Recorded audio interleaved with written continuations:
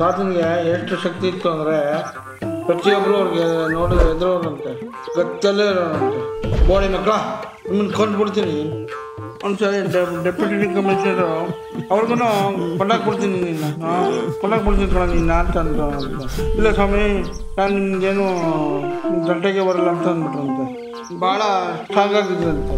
ಎರಡು ಗನ್ಗಳು ಇದ್ದಂತೆ ಅವ್ರ ಆ ಕಡೆ ಒಂದು, ಈ ಕಡೆ ಒಂದು. ಅದು ಎಷ್ಟು ಬಾರಿ ಇದ್ರು ಅಂತಂದರೆ ಐವತ್ತು ನೂರು ಕೆ ಜಿ ಇರ್ಬೋದು. ಅಷ್ಟು ಭಾರ. ಹತ್ರ ಎರಡು ಕುದುರೆಗಳಿದ್ದಂತೆ. ಇನ್ನೊಂದು ಕಡೆ. ಒಂದರಲ್ಲಿ ಹತ್ತಿದ್ರೆ ಇನ್ನೊಂದು, ಇನ್ನೊಂದರಲ್ಲಿ ಕಂಪ್ಲೀಟು ಬೇರೆ ಗಿರ ಎಲ್ಲ ಇದ್ದಿದ್ದಂತೆ. ಅದ್ರ ಮೇಲೆ ಹತ್ತಕ್ಕಾಗ್ತಿರ್ಲಿಲ್ಲ ಚಕ್ ಅಂತ ಹಾರ್ಬಿಡೋ ಅವು ಹೆಂಗೆ ಅಂದರೆ ಹೆಂಗಾರು ಗೊತ್ತಾ?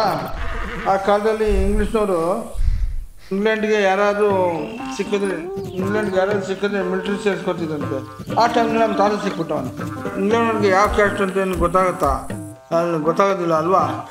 ಅದು ಯಾರಾದರೂ ಅಡ್ಡ ಬಂದರೆ ಶೂಟ್ ಮಾಡಿಬಿಡು ಅಂತ ಇಂಗ್ಲೆಂಡ್ ಮಹಾರಾಣಿನೇ ಹೇಳಿದ್ರಂತೆ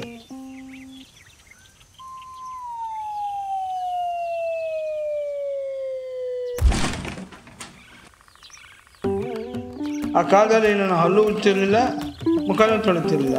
ಯಾರಾದ್ರೂ ಹಬ್ಬ ಬಂದರೆ ಮಾತ್ರ ಸ್ನಾನ. ಅಂತ ಅಂಥದ್ರಲ್ಲಿ ಹಬ್ಬ ಬಂದರೆ ಸ್ನಾನ ಮಾಡೋದು. ಅಂತ ನಿನ್ನೆಲ್ಲ ಗೊತ್ತಾ? ಕುದಿಯೋ ನೀರು ತಲೆ ಮೇಲೆ ಹಾಕ್ಬಿಡೋರು.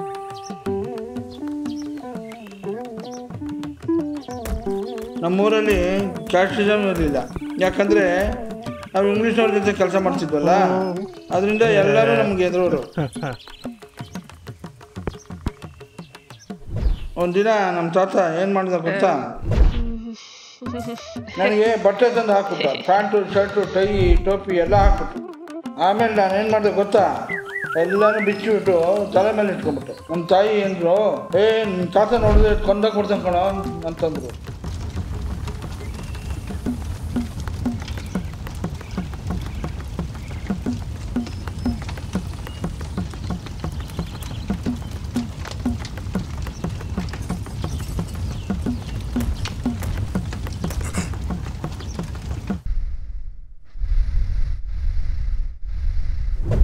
ಆಮೇಲೆ ಏನು ಮಾಡಿದೆ ಅಂದರೆ ಅವತ್ತು ಎಷ್ಟು ಭಯ ಆಗಿತ್ತು ಅಂದರೆ ಆದರೆ ನಾನು ಚೆನ್ನಾಗಿ ಹೊರೆ ತಿಂತೀನಿ ಅಂತ ಗೊತ್ತಿತ್ತು.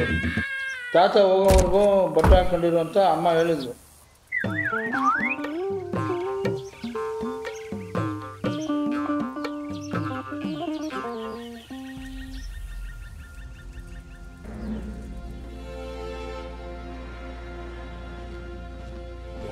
At the stroke of the midnight hour, when the world sleeps, India will awake to life and freedom.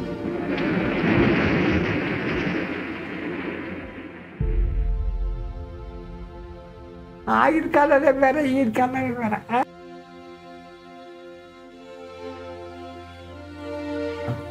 ನಾನು ಓದಿಸ್ತಿ ಅಂತ ಕೇಳಿದ್ದು ಹಾ ಆ ಓದಿಸ್ತಿ ಮಾತಾದೆ ಅದು ಯಾಕಿತ್ತು ಬೆಂಗಳೂರಲ್ಲಿ ಇದು ಸಣ್ಣ